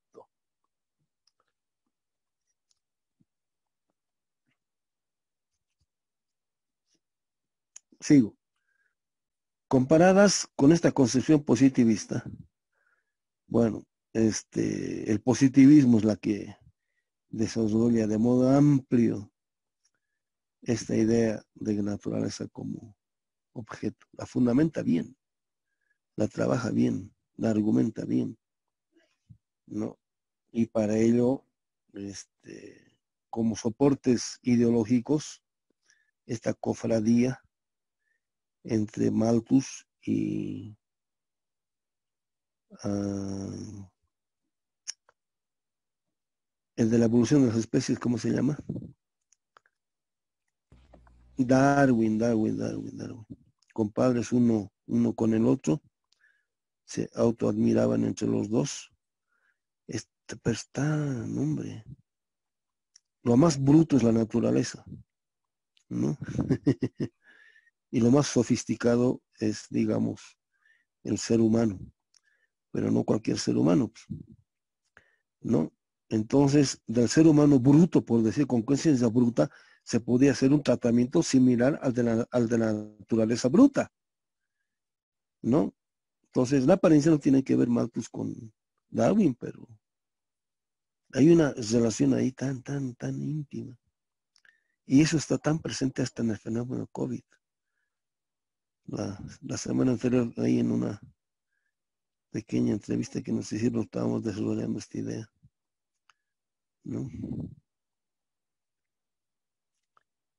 Comparadas con esta concepción positivista, las fantasías que tanto material han suministrado para ridiculizar a un Fourier demuestran un sentido sorprendentemente sano. Según este, Fourier, un trabajo social bien dispuesto debería tener como consecuencias que cuatro lunas iluminen la noche de la Tierra, que los hielos se retiren de los polos, que el agua del mar ya no sea salada, que los animales feroces se pongan a servicio de los hombres, bueno, etcétera, etcétera. Ah, hay que leer este, esa, esa literatura de, esa época con la cual se, se, se enfrenta Marx, ¿no? Para, ¿cómo se llama? Para, ¿cómo puedo decir? Para tener conciencia de las barbaridades que se decían en ese entonces. Era un optimismo ingenuo tan desvergonzado que, bueno, alguna gente que luchó por el socialismo en, ¿cómo se llama?, en la Unión Soviética, pensaba así de ese modo. ¿no? Pensaba que, digamos, ahora ya el ser humano liberado del capitalismo podía hacer con la naturaleza prácticamente lo que, eh, lo que quisiera, lo que, lo que se le antojara. Da, no sé, si decir pena ajena no, sino da, ¿cómo puedo decir? A ver, mm, da, o sea, admira, impresiona la ingenuidad que mucha gente comprometida con un proceso como los nuestros pensaba acerca de eh, lo que podía hacer el ser humano con la naturaleza o digamos en última instancia con, con, con toda la realidad. Y el modo como piensan ahora, digamos, grandes, los grandes a la, desde la Microsoft, este, ¿cómo se llama? Sí, a la Bill Gates, son, se parecen. ¿no? El de, el de Amazon, nombre, o sea. O sea, hay una historia pues al respecto. Y hay, y hay una historia que se corresponde. Cuando uno tiene ese contexto, inmediatamente puede detectar de dónde están sacando semejantes barrabasadas y estupideces. Por un lado, y por otro lado, bueno, el modo como es que podemos prevenir o prevenirnos de caer en eso por un lado y por otro lado el modo como es que podríamos ir más allá de eso.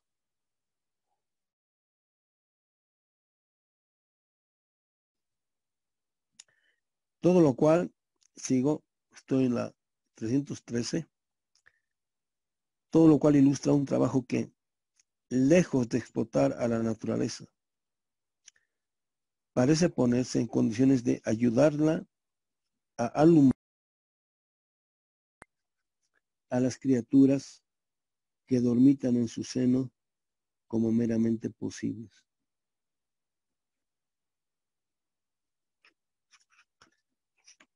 Se podría decir en parte que en el momento más duro del positivismo, digamos, la gente era más ingenuamente ideológica que cualquier otra. Parece una, digamos, el, modo como es que aparece la propia autocontradicción. En el momento en el cual, digamos, el auge duro del, neopositivismo, en el cual, digamos, este, los grandes hombres de ciencia, digamos, se, se, apegan solamente al hecho en tanto que he hecho y nada más que al hecho, bueno, es el momento en el cual lo que imaginan no tiene que ver en absoluto con el hecho. Eso quería decir. Del concepto corrompido, hasta la página 314, del concepto corrompido de trabajo. Bueno, ya no solamente el trabajo, ¿no? Aquí ponemos el concepto corrompido de historia. Concepto corrompido de naturaleza. El concepto corrompido de realidad. Bueno, del concepto corrompido de trabajo forma parte como su complemento la naturaleza. Y como ha dicho eh, está ahí gratis. no está ahí gratis, ¿no? Para el capitalista le parece como gratis, pues por eso no se le ocurre pagarle nada a la, a la Pachamama o retribuirle. Aquí en el mundo andino se dice, no, siempre hay que pagarle. Pero es una traducción de hay que corresponderle, hay que darle de comer, así como le pedimos hay, que corresponder, de lo contrario, siempre dicen, no es así nomás. No, no, no es nomás, digamos, producir que es así nomás. Uh, no es nomás, inclusive aquí ahora se dice en la política, ¿no? No es nomás salir a las calles o las carreteras a luchar, no es así nomás, ¿no? Ahora, el si es así nomás o no, depende de si hemos o no corrompido el concepto ya sea de trabajo, de ser humano, de naturaleza, de historia, etcétera, etcétera. Entonces, uh, bueno, está, ¿cómo se llama? Esta correlación que hace entre la imbricación inescindible entre el concepto de trabajo y el concepto de naturaleza. Parece que no tienen que ver directamente, pero sí tienen que ver y mucho. Y aquí sería la concepción. Entonces, de otra concepción de naturaleza, podemos deducir otra concepción de trabajo. Pero aquí el problema es el siguiente. ¿Qué tiene que ver ello con la historia? De otra concepción de naturaleza se deduce otra concepción de la historia también, de la cual también podemos producir otra concepción de trabajo. ¿No? Y ahí, bueno, una resemantización de lo que significa gratis. O sea, ¿qué, qué, qué, qué es gratis? ¿No? Por ejemplo, todos los días recibimos o nos beneficiamos de la luz y del calor del sol. Todos, sin excepción, desde las plantas, los animales, los seres humanos, todos, lo más global que hay todos los días respiramos aire, sin el cual sería imposible cualquier forma de vida, inclusive la submarina. Pregunta, ¿es gratis? No. Desde la perspectiva moderna, nosotros no pagamos nada. No, no pagamos nada y está encima de ello ni el sol, ni la luna, ni las estrellas, ni el, ni el, ni el aire nos paga la factura. ¿No? Digo, nos pasa la factura o nos pasa la cuenta. Eso que sí que sea gratis. ¿No? Para el capitalista le parece así. ¿No? Pero da la casualidad de que los pueblos originarios siempre están retribuyendo eso que se recibe. Siempre. En, la Biblia o en la tradición mística judía hay un dicho que dice de que ah, una generación sobrevive si es que hay 70 justos, ¿no? Que son quienes sin ¿cómo se llama? Sin segundas intenciones, sin esperar nada a cambio, están, digamos, orando o dándole gracias a Dios por los favores, etcétera, etcétera. En los pueblos originarios hay, no, bueno, no hay, el 70 es una metáfora, ¿no?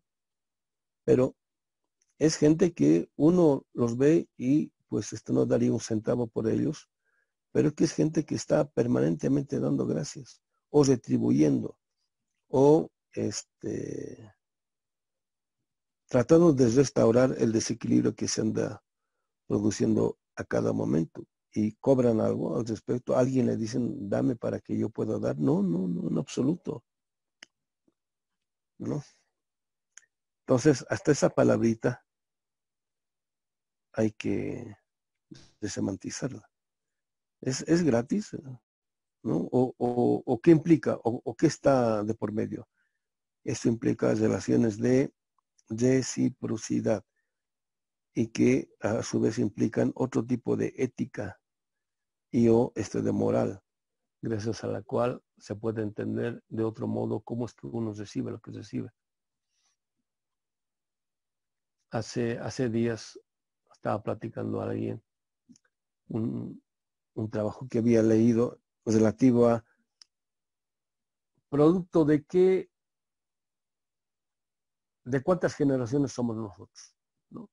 En la modernidad, bueno, pues, yo soy gracias a mi papá y a mi mamá, ¿no? Listo. Gracias a ellos este, soy lo que soy o tengo la existencia. Pero, ¿cómo se llama? Mínimamente ellos se, se ponían a hacer el rastillaje en, creo que 11, 11 generaciones. Entonces, bueno, a, tu papá le anteceden eh, tu abuelo y tu abuela, a tu mamá, tu abuelo y tu abuela. Bueno, a cada abuelo le antecede igual otra pareja y así sucesivamente. De tal modo de que lo que nosotros somos ahorita, el modo como estamos ahorita, es mínimo en 11 generaciones, mínimo son como 700 y pico personas, o 600 y pico personas. Sea, gracias a la vida de esas personas y al tipo de, vida que han dado, el tipo de trabajo que han dado por sus hijos, por decir, es que nosotros al, final, digamos, llegamos a esto que se llama existencia, ¿no? O sea, somos conscientes de esto y este, en general la vida previa que han tenido no ha sido feliz, por decir, sino, no diré que ha sido desgraciada, sino que, bueno, ha habido mucho trabajo de por medio, a veces mucho sufrimiento. Somos conscientes de eso, en qué medida podemos o no, estamos dispuestos o no a retribuir eso. O sea, todo eso se nos ha dado gratis, es gratis, ¿no? Para el capitalista no sé, ni siquiera se, ¿cómo se llama? Se problematiza eso. Pero esta otra concepción de lo que podría significar toda la realidad implica eso. Por eso es, es una toma de conciencia de eso. Entonces, por eso otra vez insistimos volvemos a insistir, vamos a volver muchísimo. Cuando Marx habla de conciencia y de autoconciencia, ¿de qué está hablando? La forma como la modernidad entiende la conciencia, la autoconciencia, digamos básicamente en el sentido de ah, la psicología, es miserable, por decir. De aquí es tener conciencia de todo esto no solamente en el sentido de eh, producto de qué somos, qué heredamos, sino eh, qué es aquello que está presupuesto. En el modo de ser y de estar nuestros, ahora, en este momento. Y de ello, créanme, no somos conscientes en que seamos muchísimo más ignorantes todavía. Bueno, ahora, ¿cómo recuperamos esa conciencia para ir más allá de este tiempo histórico? Compañeros, mes de contrapasado. Perdón por... Ah, bueno, eran imaginaciones que tenían en ese entonces. Este, en sentido específico, bueno, habría que ir al texto ese, ¿no? Al cuadro qué sé yo, por decir, digamos, ¿no? Me estoy inventando, pero este, más o menos para, para que se entienda la metáfora, ¿no? Así como se hablaba de que para que esté bien iluminada la noche necesitábamos cuatro lunas, bueno, para que ahora no tengamos este, ningún tipo de, problemas de alimentación a, nivel mundial, haremos, ¿cómo se llama?, del planeta, lo haremos crecer el planeta de tal modo de que eh, doble su tamaño, por decir, o, o, triplique su tamaño. Si hacemos crecer las plantas, ¿cómo no vamos a poder hacer crecer el planeta? O sea, estoy ridiculizando, pero es más o menos la idea que está detrás de, esto. No sé si se entiende. O sea, eh, en un contexto bien neopositivista, ideológicamente era tan ingenuo el ser humano que pensaba que, pues, que no solamente podía colonizar el planeta Tierra, sino cualquier otro, cualquier otro planeta, o si no, pero es lógico, así como los chinos, ¿no? Con el, con esta práctica que tienen de hacer de los arbolitos chiquititos, ¿no? También podemos desarrollar que la práctica de hacer de los árboles más grandes, entre las grandes eh, eh, utopías o ilusiones, por decir, del capitalismo a principios del siglo XX, habían esta, esta idea de que con, con el ser humano, con el desarrollo de la tecnología, iba a ser posible de que las cebollas, por decir, iban a ser del tamaño de, qué sé yo, una calabaza grande, ¿no? Aquí se llama zapallo, ¿no? Este, y, o si no, de que las vacas iban a ser eh, eh, el doble de su tamaño, o en vez de dar 10 litros de, leche al día, iban a dar 50 o 100 litros de leche y ese tipo de cosas también están en las utopías de la Unión Soviética cuando al principio estaba la O sea, era una, ¿cómo puedo decir? Era una, era una, era un apostarle a las capacidades creadoras cuasi ilimitadas del ser humano que podía hacer prácticamente lo que él quería porque por fin se estaba apropiando de eh, el conocimiento verdadero de la naturaleza y el universo, gracias a la ciencia y a la tecnología, etcétera, etcétera. Bueno, alude a eso en ese sentido. No, no, por lo menos yo no le he visto algo, algo más allá de eso.